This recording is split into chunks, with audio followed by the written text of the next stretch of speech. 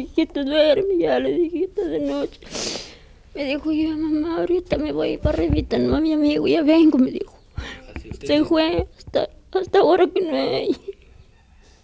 Su corazón de madre le advirtió de la tragedia. Sin embargo, Elmer Armando Cuevas Santos, de 25 años, no hizo caso y salió de su vivienda a bailar a una apoyada, sin sospechar que iba a ser atacado salvajemente.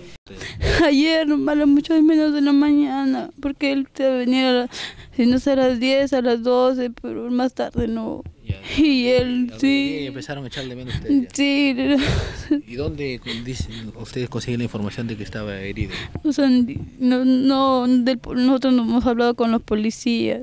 Eh, sus características, mi hermano, que él estaba en el hospital que estaba, sí, que estaba herido.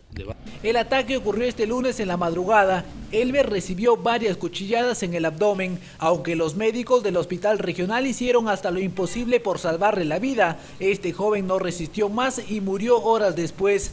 Elmer era capitán del equipo de fútbol atlético El Triángulo, el cual este domingo último ganó en la primera división del distrito de La Esperanza. Claro, este domingo ha jugado su partido jugó a las 10 de la mañana y ganaron, ganaron, 3-0 ganaron. Sí, el Cruzeiro lo ganaron 3-0. ¿Qué pides para, los tipos que no han hecho esto? ¿Por qué le hicieron eso a mi hermanito nada más? ¿Por qué? Me pregunto por qué mal, qué mal les hizo él.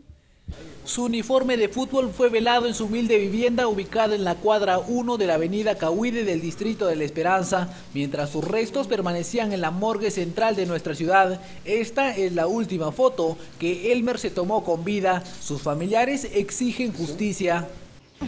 Pido justicia, que se la verdad, porque mi hermano no puede quedar así, mi hermano era muy bueno.